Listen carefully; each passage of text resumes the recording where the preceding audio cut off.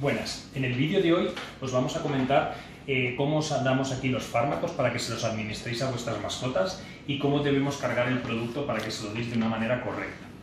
Por ejemplo, a esta mascota le hemos eh, recetado a su, propietario eh, que le demos el antibiótico que incluimos en el sobre con la cantidad marcada, que corresponde a 0,5 mililitros cada 12 horas de manera vía oral. Aquí os vamos a poner la pauta que tenemos que seguir con ese fármaco.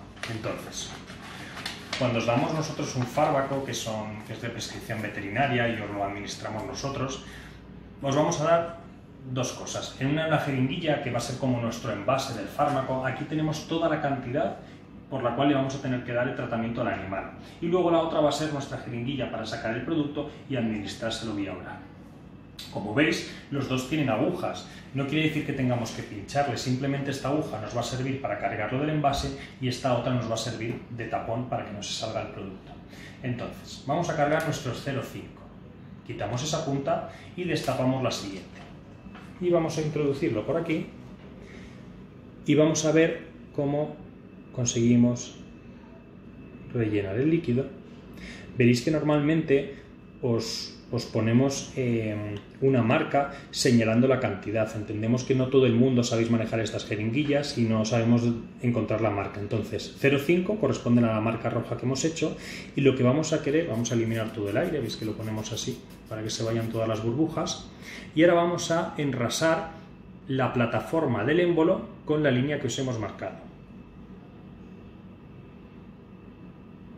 Ahora lo hemos cargado justo, pero si veis que os sobra cantidad, lo guardamos en el envase para no despilfarrar eh, medicación.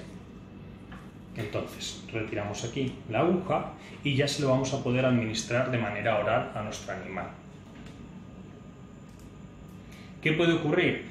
Que a lo mejor os mandemos un otro tipo de fármaco, un fármaco que se compra en farmacia porque no lo hay de veterinaria y os vamos a dar una receta. En esta receta os vamos a poder el nombre del fármaco, es una receta oficial en la cual vamos a acudir a la farmacia y os van a dar el producto. Aquí tenemos todo escrito con las indicaciones para el farmacéutico. Entonces, si tenemos este, este caso, tendremos nuestro envase y lo que haremos es de manera similar,